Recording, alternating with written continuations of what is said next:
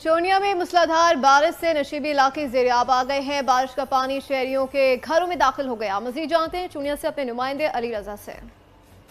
आज बिल्कुल मुल्क भर की तरह चूनिया में भी मौसलाधार बारिशों का सिलसिला जारी है। चूनिया और इसके गिरदोनवा जैसा कि इलाहाबाद, कंगनपुर छांगा मांगा और चूनिया में मुसलसल मौसलाधार बारिशें जो हैं, वो हो रही हैं।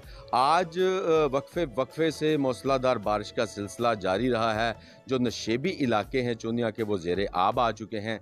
जिनमें अफजल टाउन राना टाउन बर्फ़ाला कारखाना, हथार क्रिश्चन कम्यूनिटी और जहीराबाद कलोनी के ऐसे इलाके हैं जो नशेबी थे, जिसकी वजह से बारिश का पानी जो है उनमें जमा हुआ है। अब बारिश का पानी जो है वो गली मोहल्लों में शहरीों के घरों में दाखिल हो रहा है।